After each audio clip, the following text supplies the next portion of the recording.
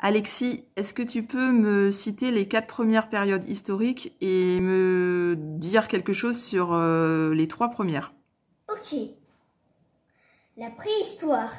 Maîtrise du feu. Moins 600 000. L'Antiquité. Euh, L'invention de l'écriture. Enfin, je sais pas comment. Oui, c'est ça, l'invention de Moins l'écriture. 3 000. Très bien. Euh, c'est euh, les châteaux forts et les cathédrales. Ok. Et euh, les temps modernes, il n'y a rien dessus. Ah oui. Ce sera pour la prochaine fois. Ouais.